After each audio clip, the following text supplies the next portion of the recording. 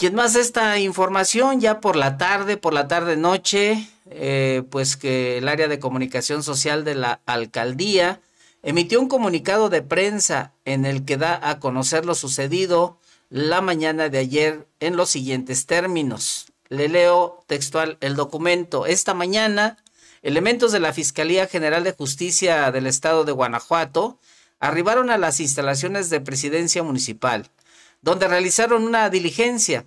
Lo anterior se deriva de una denuncia presentada por el secretario de Ayuntamiento, Rogelio Fabián Santoyo Guevara, por una supuesta triangulación de recursos públicos en la administración local. El personal de la Fiscalía del Estado acordonó las oficinas de la Tesorería Municipal, donde recabaron datos y documentos para integrarlos a la investigación correspondiente. Será la Fiscalía General del Estado de Guanajuato quien oportunamente dé a conocer el resultado.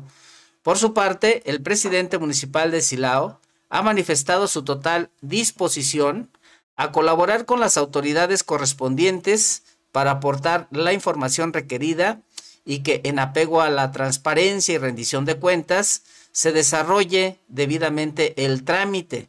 El personal de la Fiscalía y los elementos de seguridad arribaron a las 10 de la mañana y se retiraron a las 2.20 de la tarde.